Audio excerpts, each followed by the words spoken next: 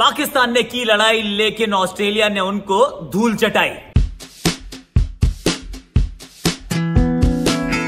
Castrol Active presents hashtag Akashvani and our digital sports radio partner is Sports Flashes. Toss जीत के fielding का फैसला, एक spinner था, उसको ड्रॉप करना, चार फास्ट बॉलर के साथ उतरना और जब फील्डिंग का फैसला किया तो फिर बॉलिंग तो की, अच्छी नहीं की कैचेस छोड़ी, वो भी ढेर सारी Pakistan didn't really help their cause जिस प्रकार से इस मुकाबले को खेले हैं, जिस प्रकार से इस मुकाबले को हारे हैं they have only themselves to blame क्योंकि एक चीज़ ये टॉप पे बताना ज़रूरी कि विश्व कप के इतिहास में हम बारहवें एडिशन की कर रहे हैं बात ढेरों मैचेस की कर रहे हैं बात। आज तक पाकिस्तान ने कभी 270 से ऊपर का टोटल सक्सेसफुली चेज किया ही नहीं। तो फिर भैया टॉस जीत के जब गेंदबाजी का फैसला कर रहे हैं तो ये बात जहन में ज़रूर होगी। तो फिर उसका मतलब क्या है? शुरू में विकेट चटकाइए, बीच में विकेट चटकाइए, सवा दो सौ में ऑस्ट्रेलिया को रोकिए। लेकिन ऐसा करने के लिए बॉलिंग भी अच्छी करनी पड़ती है और कैचेस भी पकड़नी पड़ती है। आपने वो काम बिल्कुल नहीं किया। एरन फिंच का शुरू में कैच निकला, आसिफ अली ने छोड़ा। फिर कप्तान सरफराज ने छोड़ा। और फिर तो दूसरी तरफ़ से वार्नर खेल रहे थे। कैस्ट्रोल एक्टिव मैच प्रोटेक्टर कौन रहे?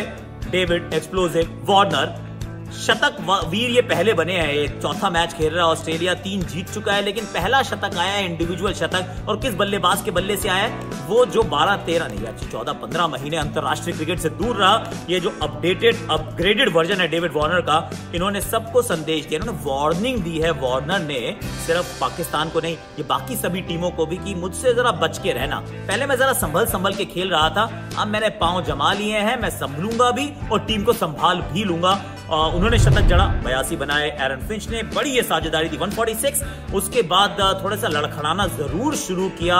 ऑस्ट्रेलिया ने batting order I didn't really like it that much आपने स्मिथ को तो आगे भेजा, लेकिन ख्वाजा को इतना नीचे भेजा, उससे पहले आपने भेज दिया शॉन मार्च को। मैक्सवेल को कुछ ज़्यादा ही जल्दी भेज दिया, और एक समय लगा साढ़े तीन सौ पे पहुँचे गए। पहुँचे मात्र 307 तक and that was courtesy Mohammad Amir Amir के पास क्लास है। उन्होंने की अच्छी गेंदबाजी। 10 ओवर 30 रन पाँच विकेट जब आपके बाकी सभी गेंदबाज साठ सत्तर अस्सी रन खा रहे हैं आ, उस के अगर लिहाज से देखें उस लेंस से देखें तो आप कहेंगे आमिर वॉज़ एब्सोल्युटली सेंसेशनल आखिरी 10 ओवर में इक्यावन रन दिए पाकिस्तान ने छह विकेट चटकाई। लगा शायद खेल में वापस आएँगे लेकिन इतना आसान था नहीं। फकर जमान को शुरू में आउट किया। बैट कमिंस ने फिर एक बनी साझेदारी। बाबर आज़म, भाई क्लास है इनके पास, लेकिन वो छोटी क्लास रही इस बार, बड़ी क्लास देखने को नहीं मिली, और उनको बाउंसर पे आउट किया, और फिर इमामुल हक आउट हुए, फिर मोहम्मद हफीज फुल टॉस पे आउट हो गए, फिर शोएब मलिक आउट हो गए शून्य पर। वहाँ एकदम से लगा कि वो दो दशमलव दो तीन तीन गेंदों का खेल था। ग्यारह रन कुल बने थे और तीन विकेट आपने गवा दी। आपने वही मैच ही गवा दिया। बाद में आप लड़ते रहे, जद्दोजहद करते रहे। पांचवा गेंदबाज था नहीं ऑस्ट्रेलिया के पास। आपने उसको एक्सपोज करने का प्रयास तो किया लेकिन काम आया नहीं। हसन अली के रन वहाब रियाज के रन सरफराज के अंत में थोड़े से run but that was never going to be enough अंत में देखा जाए तो छत्तीस सैंतीस रन से जब आप मुकाबला जीतते हैं तो लगता है कर, करीबी मुकाबला है लेकिन इतना करीबी हुआ नहीं अंत में। ऑस्ट्रेलिया ने इस मुकाबले को जीता नई गेंद से पैट कमिंस बीच में पैट कमिंस बाद में Mitchell Starc this team is once again right at the top और जो पाँचवें गेंदबाज की समस्या है मुझे लग रहा है स्टॉइनिस की जगह इनको फटाफट से मिचल मार्च को अगले मैच में खिलाना पड़ेगा और पाकिस्तान आपका तो वैसे इंडिया से अगला मुकाबला। ऑस्ट्रेलिया को इंडिया ने हराया आप उनसे हार गए अब हमसे जीतोगे क्या? ऐसा मुझे लगता नहीं है कि ये रिकॉर्ड भी कुछ टूटने वाला है। But then well done Australia well done my prediction हम जीत गए मतलब ऑस्ट्रेलिया जीत गया और uh, uh, मेरी प्रोडिक्शन ठीक हो गई।